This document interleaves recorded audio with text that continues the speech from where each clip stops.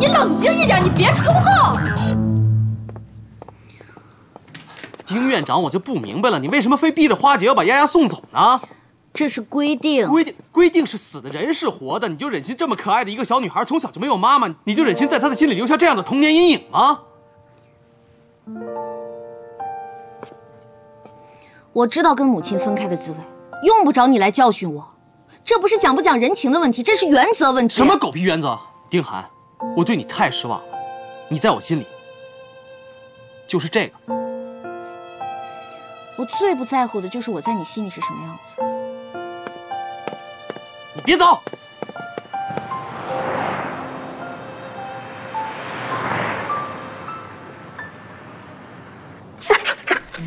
妈妈，妈妈，快